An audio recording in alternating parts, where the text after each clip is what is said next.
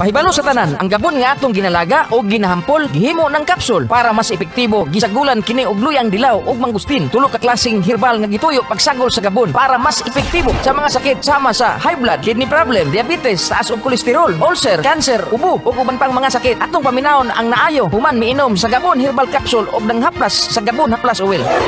Ako si Robilin Gato, nagapuyot diri sa Barangay Lukod, Magangada Oriental. Nakagamit ko sa Gabon capsule, lamigin akong pamati. Unya, mao ni nakapababa sa akong blood pressure. Unya, ang haplas pod, lami kaayo. Maghaplas sa gabi eh, lami gayud paminawon. Katong wala pa nakagamit, gamit na mo aning Gabon nga capsule og haplas. Ang gabon herbal capsule ug gabon haplas oil mapalit sa tanang butika.